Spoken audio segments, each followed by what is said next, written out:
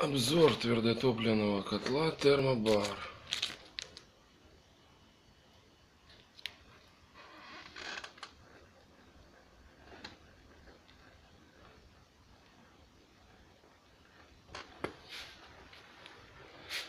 Твердотопливный котел с плитой 16 киловатт на подаче 60 градусов.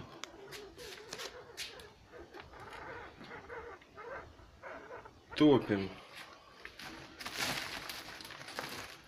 вот такой дробленой щепкой.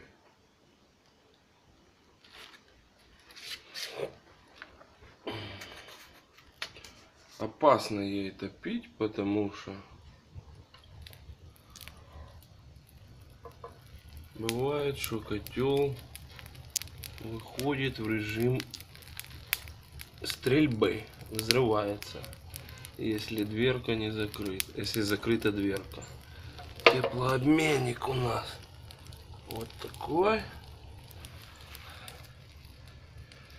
Глубина топки 55 сантиметров. Объем топки очень большой. Вот это говорит о том, что пиролизный газ подачей кислорода смешался и произошел взрыв в камере сгорания. Кирпичи лежат для того, чтобы не выпадал конденсат.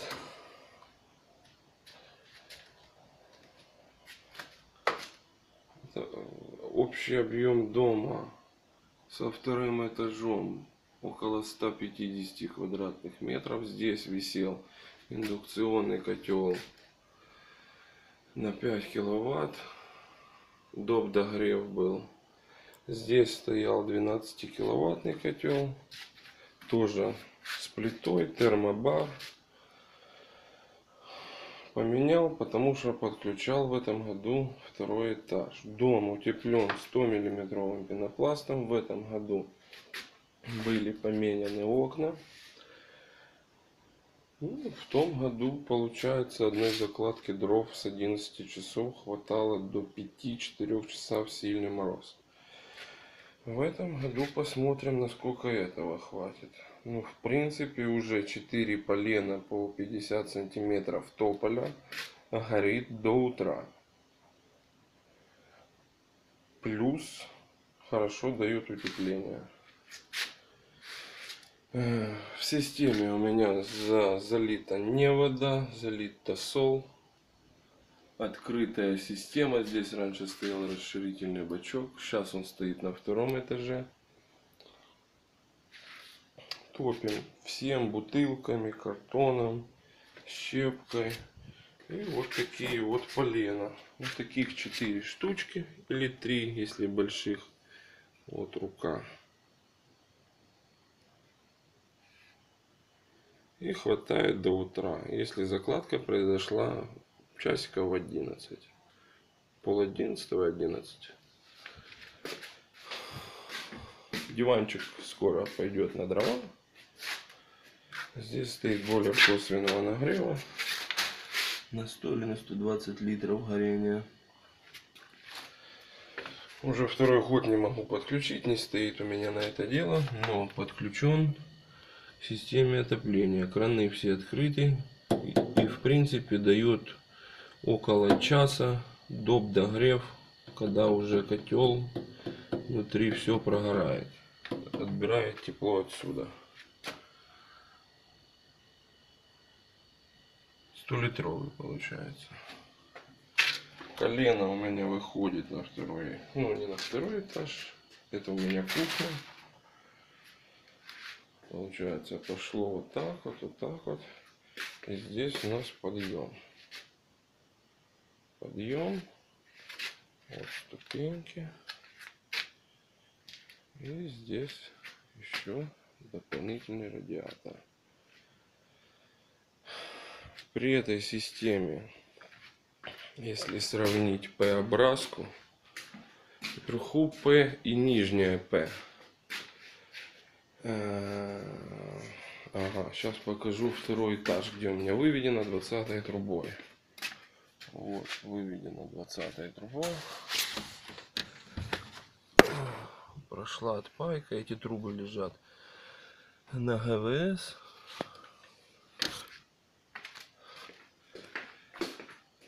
При естественной циркуляции, когда, допустим, свет отключают, я уже испытывал, работает первая точка. Это у нас здесь радиатор метр шестьдесят. Бойлер косвенного нагрева. Второй этаж и первая точка. Вот там вот она.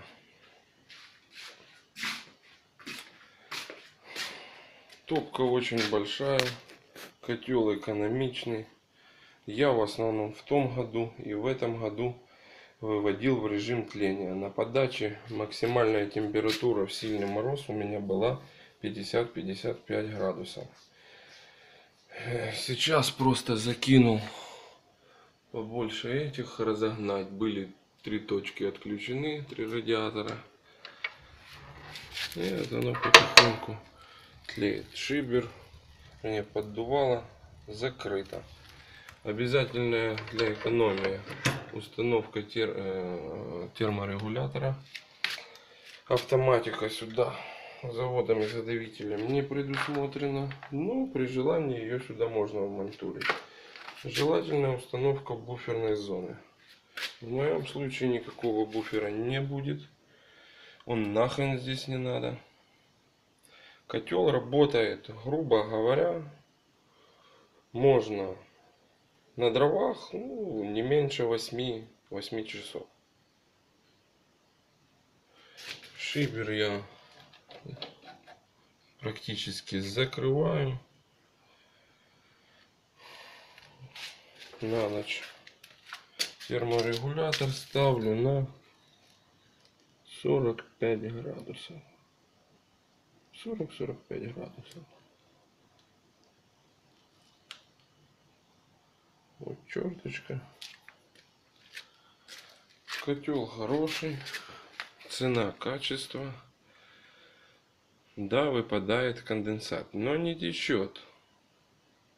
Как некоторые. Многие рассказывают, что у них очень сильно идет много конденсата. Дымоход у меня Здесь стоит по заводу изготовителя 150. Дымоход я оставил старый 110 на 5-метровый нержавейка внутрянка. Сверху стоит установлен дефлектор. Дефлектор тоже много чего играет, не задувает, нема стабильная тяга, даже при низкой температуре когда давление падает и тяжело разжечь котел. Вот эту порнуху я не переделывал. Так я оставил. Облом было.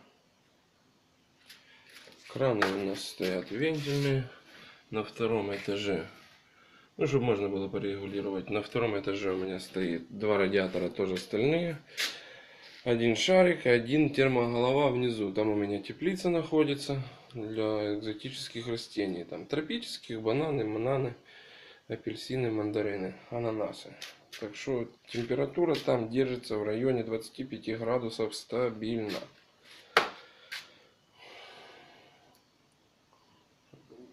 В дальнейшем буду снимать, насколько эффективен, когда будут сильные морозы насколько эффективен этот котел. КПД у него высокое. Еще там сейчас не видно, но я там установил, установил дожигатель газов, катализатор. Еще хотел установить, пока не, не могу, ну как не могу, э, турболизаторы в теплообменник чтобы задерживались и КПД увеличилось. Более лучший теплосъем теплообменника. Так, в принципе, пока все. Трехходовой клапан. Здесь исключительно только лох поставит. Да и все, в принципе.